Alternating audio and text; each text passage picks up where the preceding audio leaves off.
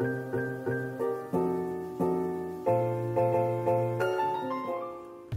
welcome back to my channel. My name is Amy and I'm with Fisher Huntz, the Midwest Mobile Escape Room. Today I'm going to be showing you how to reset one of those locks. So let's get started.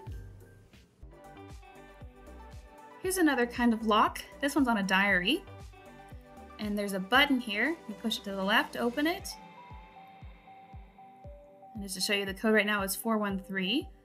We can change it and the button no longer pushes to the left, does not open. So back to 413, push to the left and it opens. So in this one, the left is to open it, but to the right is how you reset it. So you just have to hold it in that right position. We're gonna change it to our favorite number again.